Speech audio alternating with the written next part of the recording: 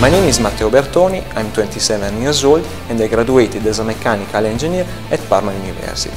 And after a short experience in a medium company, I decided to take the challenging opportunity of joining the first edition of Comau Master Industrial Automation. My decision is due to two main facts. The first one is that a big company can give me the opportunity to enter in the worldwide automation market.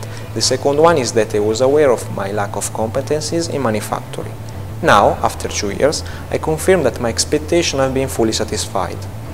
Comau is a global system integrator in automotive industry consisting of different business units. I have been assigned to the powertrain system business unit, more exactly in the research and development for the assembly department. I have taken part to the development of a standard assembly system. This system consists of an automatic machine for the flexible assembly of engine, transmission and in general automotive components. The innovation of these products lays in the fact that the main competencies and know-how of the company, robotics and mechanics, are used together. I was involved in this project from the first step of the product development until the installation at the customer plants.